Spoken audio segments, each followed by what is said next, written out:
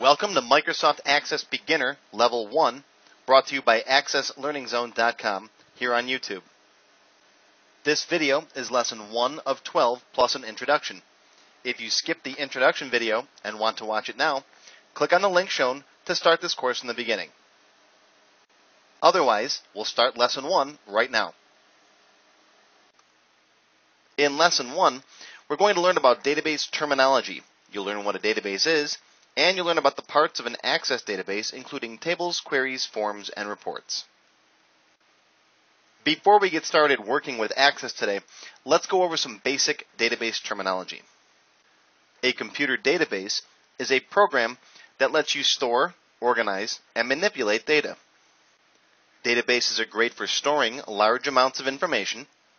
You can use a database to organize that information by generating different reports and queries.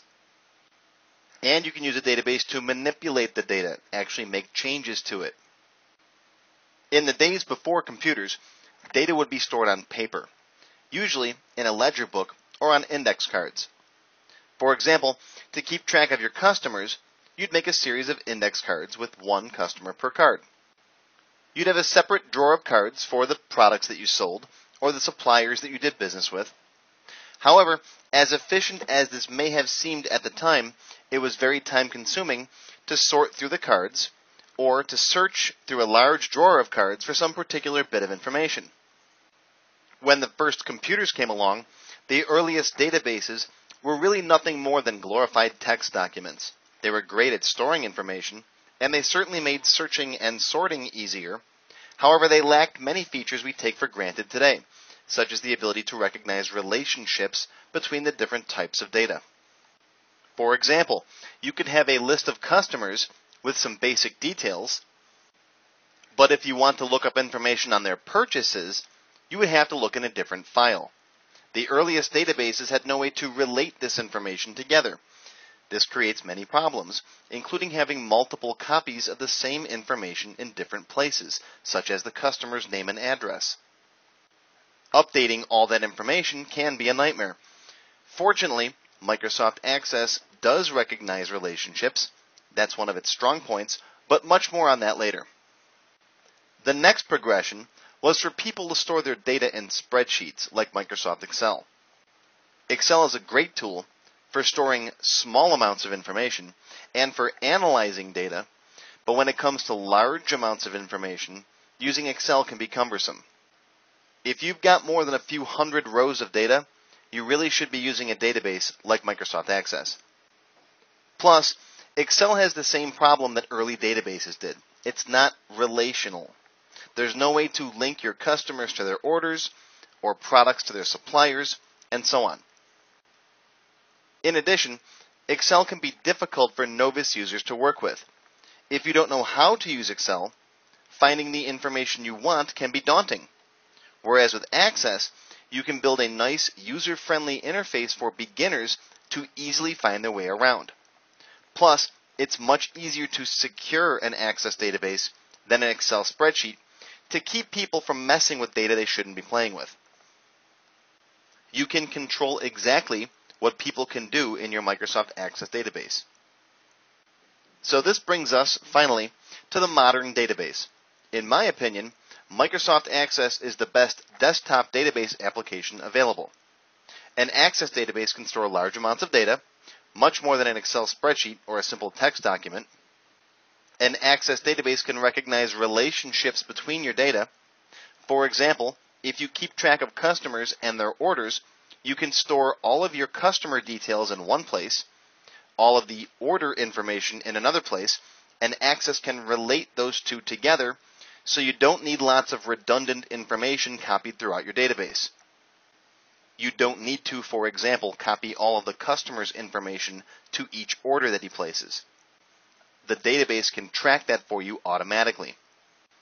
One of the problems with spreadsheets and older database applications is that you have little or no control over what kinds of information get put into your database fields. With Access, you can specify exactly what types of data the user can type into each field.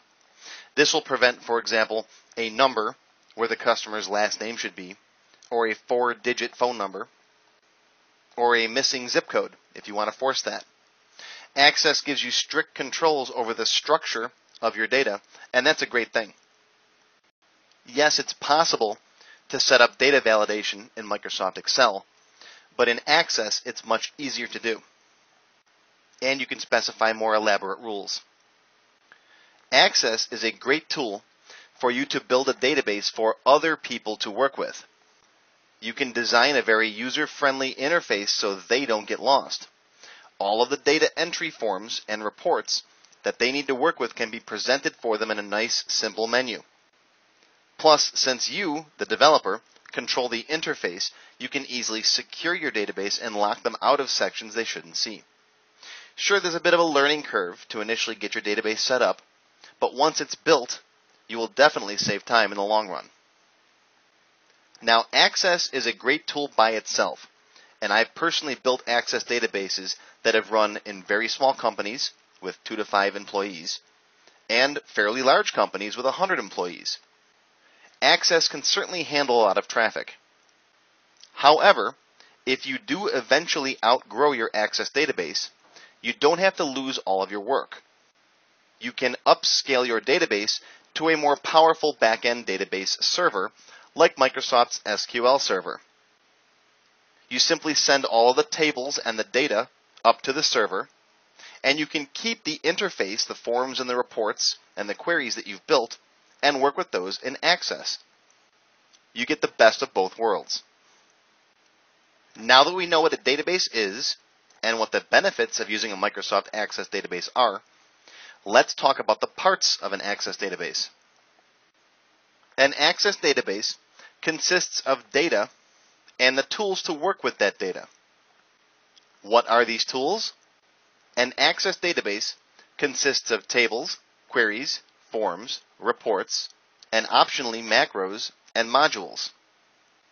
Tables are used to store data, queries to organize data, forms to display data on the screen and to edit that data, reports for printing out data, and optionally, for more advanced users, macros are used to automate tasks, and modules give you the full Visual Basic programming language inside of your Access databases. Now, I have macros and modules grayed out because you can build a fantastic database in Microsoft Access without ever using a macro or a module. I cover macros in my advanced classes and module programming in my developer level classes but all you really need are tables, queries, forms, and reports. All data in your Access database is stored in one or more tables. You can think of a table like a single Microsoft Excel spreadsheet. However, tables give you much more control over the types of data that can be input into them. For example, here you see part of a customer table. Tables are made up of a collection of fields each field holds a specific type of data. For example, here I have highlighted the last name field in red. This field should only store the customer's last name and nothing else. In fact, you can specify rules in the database to force fields to only contain certain types of information, like text, numbers, dates, currency values, and so on. Fields are also sometimes referred to as columns, just like in an Excel spreadsheet.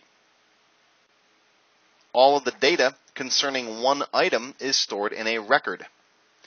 Each record consists of the collection of all of the fields of data for that item. In this customer table, for example, each record represents one customer. Here, I've highlighted one customer, Alan Watson, in red. You can think of a record like a row in an Excel spreadsheet you might not always be storing customers. In a product table, for example, each record would represent one product. In an order table, each record would represent one order. In a timesheet table, each record might represent one instance of an employee clocking in or out. So your tables can store many different types of data people, places, events, and so on. Now, the data in your tables might not be stored in any particular order. you might have hundreds of thousands of records in your table, and the boss says to you, I want to see a list of only customers from New York sorted by last name. That's what a query is used for.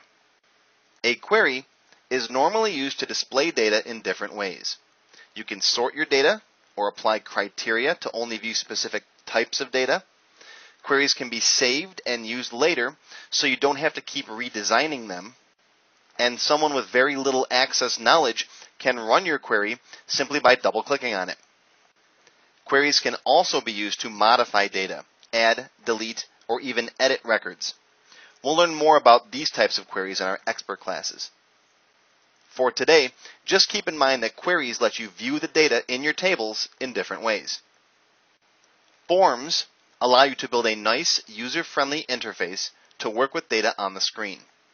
Whether you're building a database just for yourself or for other people to work with, forms are a major time saver. You can display information however you want. You can include just the types of data that you want your users to work with. You can combine information from multiple tables, such as displaying a summary of a customer's orders on the customer form. You can secure your fields so users can only modify specific data and can only see other types of data. You may not want your end users seeing credit card numbers, for example.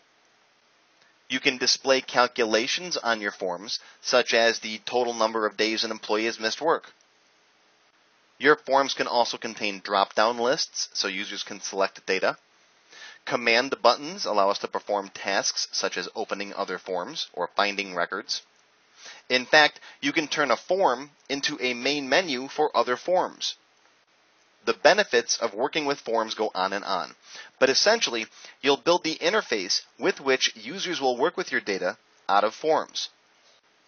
You never want users to have to work directly with your tables and queries, and you'll see why in upcoming classes. Reports are specifically designed to present data to people who are not using your database. You can print a report out. You can send it to someone as an email attachment, as a PDF file. You can use reports for customer information, invoices, product catalogs, mailing labels, charts, and lots more. Anything you want to present to someone else can be designed as a report. Finally, an Access database can contain macros and modules. These are more advanced topics that we'll cover in later classes. In a nutshell, macros are generally used to automate repetitive tasks or carry out simple actions. Modules contain Visual Basic programming code that can really take your database to a professional level. Now again, you can build a great database without ever touching a macro or a module, and we'll cover these later in our more advanced classes. Microsoft Access can build two different types of databases. There are desktop databases and web apps. Now, a desktop database is the classic traditional database that runs on your PC and you can set it up to run on the network in your office for multiple users. A web app involves working with Access databases through a web browser. This course will focus on using only desktop databases. Web apps are still in their infancy, and they're okay for building real simple databases. But if you want to get down to business, stick with the desktop database. In the future, I will be developing a custom seminar just on building web app databases. For more information, visit my website at accesslearningzone.com. Thanks for watching. If you like this video, make sure to give it a thumbs up and comment below. I post new videos all the time, so be sure to subscribe to my channel for updates. Click to begin lesson 2 now. And also, click to visit my website, accesslearningzone.com, for more free videos and to sign up for the entire Level 2 series for just $1.